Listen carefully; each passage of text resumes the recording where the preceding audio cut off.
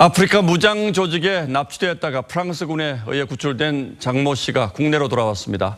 안전한 게 돌아온 건 물론 환영할 일입니다. 다만 우리 정부가 어, 국민의 생명 보호에 소홀한 점은 없었는지 또 장 씨가 위험을 자초한 부분은 어떻게 봐야 하는 건지 어, 프랑스 인질 구출이 우리에게 남긴 교훈에 오늘의 포커스를 맞췄습니다.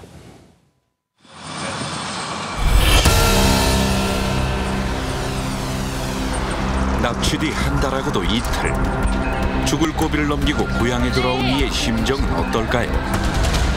소감 한 말씀만 말씀해 주세요. 네, 알겠습니다. 장 씨는 귀국 직후 국정원 등 관계 당국의 조사부터 받아야 했고 여론도 싸늘합니다.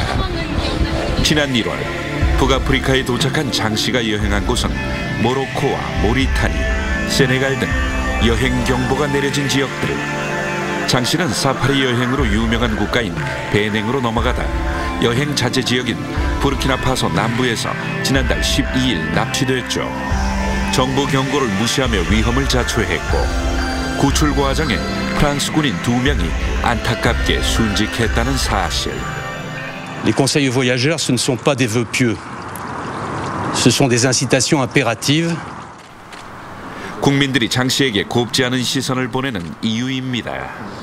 굉장히 고맙기는 하고 근데 왜 가지 말라는 데를 가가지고 거기서 그렇게 그 잡혔는지 국민 안정과 그런 그 사회 질서를 위해서 그런 권고 사항을 따르는 게 1차적으로 지켜져야 다만 우리 외교부는 장 씨가 납치 직전 가려 했던 베냉에는 아무런 여행 경보를 내리지 않았습니다. 또한 장 씨 구출 뒤 정부 대응도 논란입니다. 부르키나파소 무장단체가 납치한 사람은 프랑스인 두명과 장 씨, 그리고 미국인 한명 미 정부는 구출 작전 직후 자국민을 곧바로 인도받아 언론에 노출시키지 않았죠. 하지만 우리 외교부는 구출 뒤 하루가 지나서야 장 씨의 존재를 확인했고 프랑스로의 이송도 프랑스 정부의 도움을 받았죠. 이에 외신들에는 장 씨의 얼굴이 고스란히 노출됐습니다.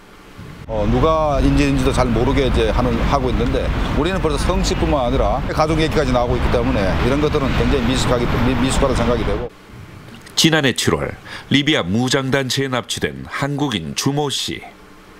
Mr. Ju, uh, please help me, President. Please, uh, our country, South Korea.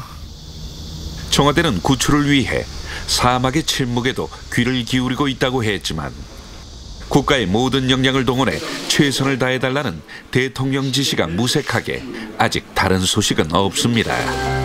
어디든 갈 수 있는 국민의 자유와 무조건 국민을 지켜야 할 국가의 의무. 다만 자유에는 책임이 따르고 국가는 변명해서는 안 된다는 게 이번 납치 사건의 교훈이 아닐까요?